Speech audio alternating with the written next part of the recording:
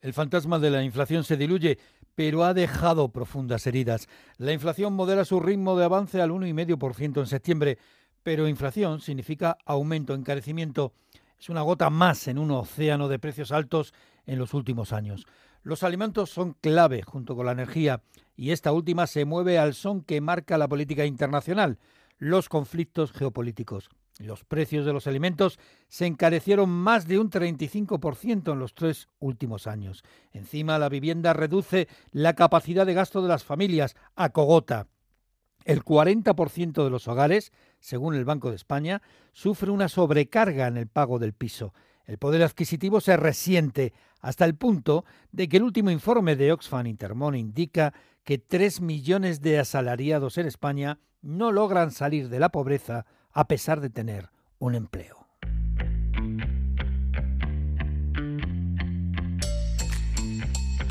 La mirada económica.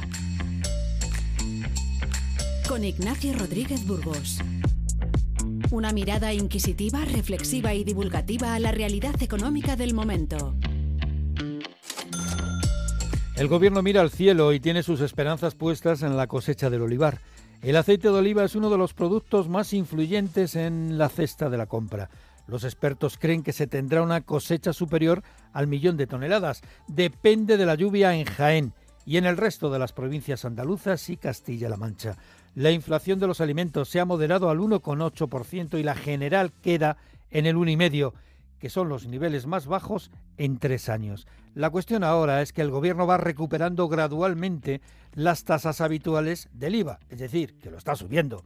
Y esto puede generar un rebote en el carrito del súper, como apunta María Jesús Fernández de Funcas. Sí, veremos una subida de la, inflación en los alimentos, pero tampoco una subida dramática. ¿eh? El impacto será de algunas décimas, ¿no? Unas pocas décimas en octubre y otras pocas décimas en enero, ¿no? Por primera vez en tres meses se encarecen los carburantes. Suben un 1,5% en el surtidor como reacción al incremento de la inestabilidad política en Oriente Medio. Y eso que la cotización internacional del petróleo ha hecho un viaje de ida y vuelta. Llegó a los 81, a 81 dólares hace escasamente 30 días. Ahora está alrededor de los 74 dólares. Pero claro, los gastos de la vivienda, pues es el ladrillo, los ladrillos más pesados en los presupuestos familiares. El Banco de España señala que el 40% de las familias españolas sufren una sobrecarga en el coste de su casa.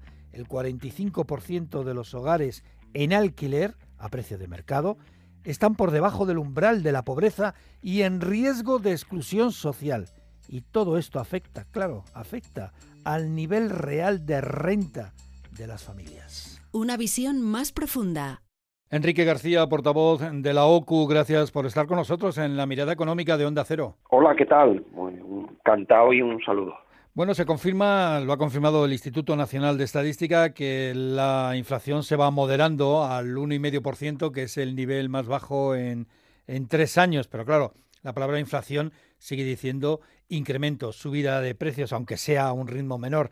Una de las causas es precisamente los alimentos, que están en el 1,8%.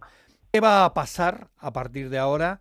Y bueno, claro, y esta subida del 1,8% viene después de incrementos acumulados a lo largo del tiempo en la cesta de la compra, ¿no? Pues precisamente en esa parte quiero detener un poco, ¿no? El estudio de supermercados de OCU, que es un estudio que hacemos anualmente eh, donde comprobamos el nivel de precio de más de 1.100 establecimientos en todo el territorio nacional, aporta un dato muy claro. En los últimos tres años, los alimentos han subido un 35,5%. Eh, los consumidores pueden pensar al hilo de esta noticia eh, sobre eh, la bajada de la inflación que los precios de los alimentos han bajado. No, no han bajado han eh, reducido su ritmo de crecimiento. Hemos pasado de una, de una crisis inflacionaria histórica, pues hay que remontarse a casi 40 años para ver eh, tasas similares, a unas tasas de crecimiento de precios al, más moderadas, que son las que tenemos ahora. Esto impacta enormemente en la economía familiar, en la solvencia e incluso en la forma de, la alimentación, ¿no? Parece que los alimentos se moderan. Esto de parece que los alimentos se moderan, eh, bueno, pues hay que distinguir qué tipo de alimentos eh, se moderan, ¿no? Hay una reducción significativa, por ejemplo, en el ritmo de crecimiento del precio del aceite de oliva, que ha vivido dos temporadas eh, con unas variaciones eh, enormes y también históricas. ¿Y la cosecha, la cosecha cómo va a ser? ¿Tenéis datos de cómo va a ser la cosecha de aceite de oliva? Y lo digo porque el aceite de oliva, evidentemente, con nuestros hábitos alimenticios, pues es un gran vector que influye eh, grandemente en la cesta de la compra. Respecto al aceite de oliva, eh, la previsión oficial de cosecha es que alcance o supere o ronde 1.200.000 eh, toneladas. La industria habla de retraso en eh, la bajada de precios. Nosotros creemos que ya se dan condiciones y para que el precio del aceite vaya a bajar. Y lo previsible es que en los próximos meses baje y la incógnita está en hasta cuándo va a bajar. Dos cosas eh, muy rápidamente. Por ejemplo, el tema del IVA. El IVA ya en el 1 de octubre, bueno, recuperó un 2%, eh, porque ya la bonificación gradualmente va a ir desapareciendo. ¿Esto también se va a notar en el precio de, y en la inflación? El contexto de, de la crisis inflacionaria tiene un origen en los costes, ¿no? Eh, hay una relación directa entre la subida de los precios de la electricidad y carburantes con el incremento de los costes de producción, eh, que afectan mucho a los precios de los alimentos.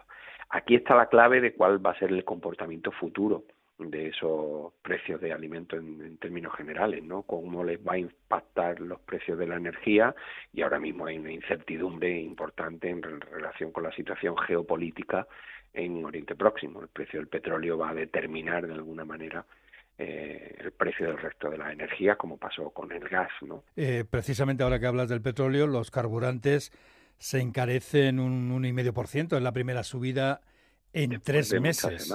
Claro. Esto también nos tiene que poner en, alerta de esa circunstancia, ¿no? esos precios exógenos al funcionamiento de la economía sobre los que, en términos generales, ni España ni Europa tienen control y que han incidido de una forma notable.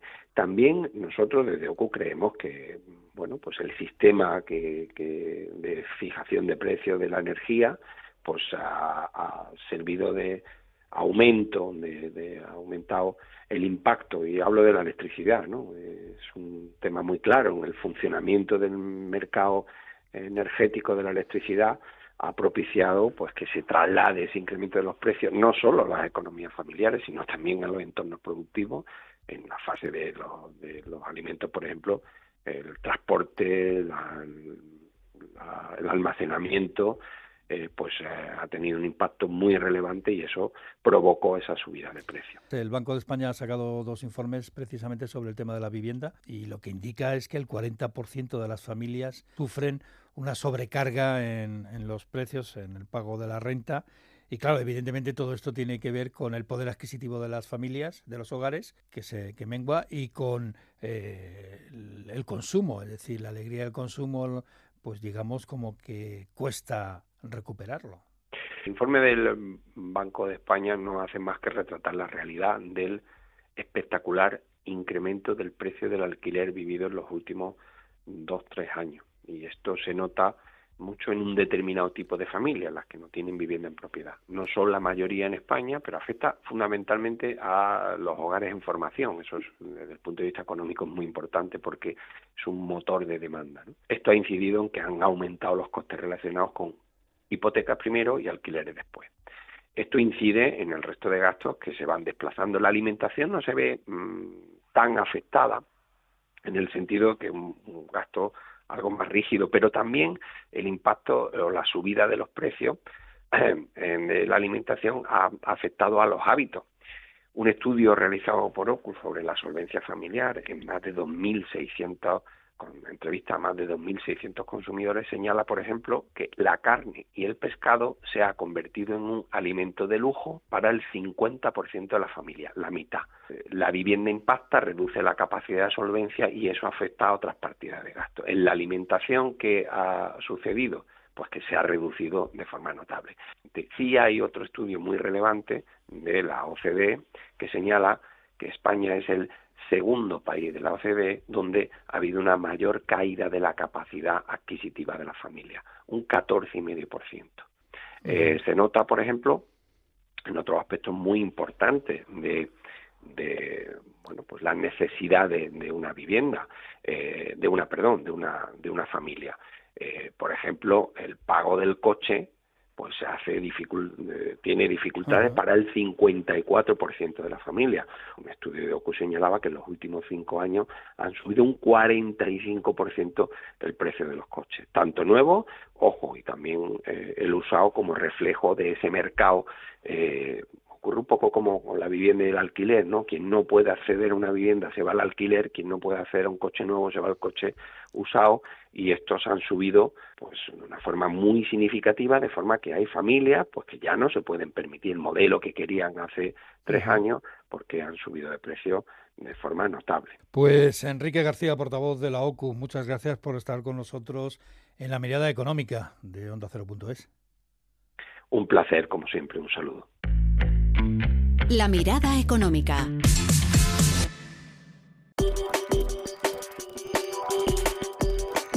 Ya que estamos hablando del bolsillo del común de los mortales, es interesante echar un vistazo al último informe de Oxfam Intermón sobre el mercado laboral y la renta. Con el nivel salarial que hay en nuestro país y la precariedad existente en los contratos, el empleo no evita entrar en la pobreza, como señala Alejandro García Gil de Oxfam Intermón. Cuando se traslada la realidad de la pobreza laboral a los hogares, nos encontramos que el 40% de las familias numerosas sufren pobreza laboral. Y además, los hogares monoparentales, que en su mayoría tienen como único adulto que obtiene ingresos a las mujeres, la cifra alcanza el 30% de pobreza laboral. Hay 3 millones de trabajadores en nuestro país que son pobres, que no logran salir de la pobreza a pesar de tener un empleo. ¿Dónde ocurre más esto con más intensidad? Pues en Andalucía y en Extremadura. La mirada económica, un podcast de Onda Cero. La metamorfosis económica, es el momento de acercarnos a las noticias de la transformación económica, de la metamorfosis económica, con la ayuda de Patricia Gijón. Patricia, saludos. Saludos, Ignacio. Blackstone aterriza en Aragón con una inversión de 7.500 millones de euros. Será para la construcción de un centro de datos de 224 hectáreas en la localidad zaragozana de Calatorao. Aragón se consolida como uno de los destinos favoritos en Europa para el desarrollo de nuevos centros de datos. El fondo de inversión estadounidense Blackstone se suma a otros gigantes como Amazon Web y Microsoft en data center de la región energía nuclear para alimentar la inteligencia artificial. Google construirá con Kairos Power siete minicentrales nucleares para asegurarse energía para sus instalaciones. El gigante se convierte así en la primera empresa tecnológica en encargar nuevas plantas de energía nuclear para proporcionar electricidad con bajas emisiones de carbono para sus centros de datos hambrientos de energía.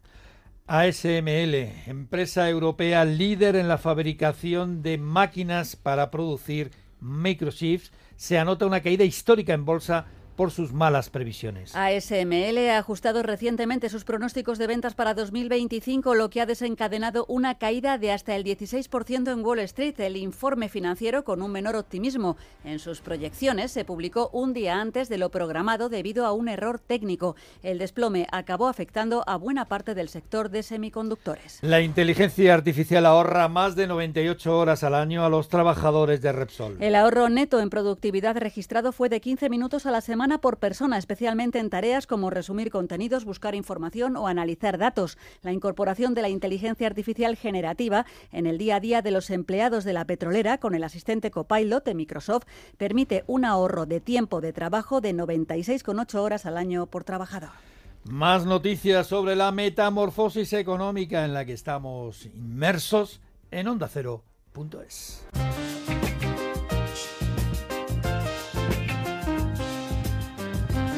En los últimos días ha regresado con fuerza a las portadas el multimillonario fraude fiscal que se refleja en los hidrocarburos que se está registrando en ese sector. ¿Y por qué ha regresado con fuerza a las portadas? Pues por el ingreso en prisión preventiva de Víctor de Aldama, el conseguidor en la trama Ábalos Coldo, el perejil en todas las salsas. Aldama está acusado de un presunto fraude fiscal de 180 millones de euros. Además, Hacienda ha desarticulado esta misma semana otro presunto fraude también en los hidrocarburos por valor de unos 133 millones de euros. En la brújula de Onda Cero, Víctor García Nebreda, secretario general de AEBECAR, explicaba cómo funcionan estas organizaciones criminales. El régimen de, pago de IVA que tienen en España y otros países europeos en los hidrocarburos, el, operador mayorista no tiene la obligación de, de, pagar el IVA del litro que saca del depósito de combustible, sino que lo paga a posteriori y él, bueno, pues coge ese, ese litro de combustible y nos lo vende a, gasolineras o a, otros distribuidores o a clientes finales. Y, y, claro, nosotros sí le pagamos el IVA, como imagino que harán los distribuidores y los clientes finales, pero ese IVA pues nunca llega a las arcas del Estado, ¿no? Y ese es un ese es un, un primer fraude y luego hay otro fraude también que tampoco cumplen con los objetivos marcados de biocombustibles, que aparte son objetivo medioambiental importante y claro, el biocombustible es más caro que el combustible fósil, pero tampoco lo meten en esos dos litros, con lo cual es otro fraude que también son 6, 7 céntimos por, por litro, y tampoco pagan los impuestos de eficiencia energética, es decir, esto no, no pagan partido cumple con la reglas estratégica, es decir, son operadores, pero es delincuencia organizada internacional. La cosa es que este fraude en los hidrocarburos, este fraude fiscal, está haciendo un daño a la Hacienda, a la caja fiscal a la caja de Hacienda de alrededor de unos 2.000 millones de euros anuales. Es todo. Muchas gracias por su atención y por estar una semana más con nosotros en la mirada económica de Onda Cero.es. La mirada económica. Ignacio Rodríguez Burgos.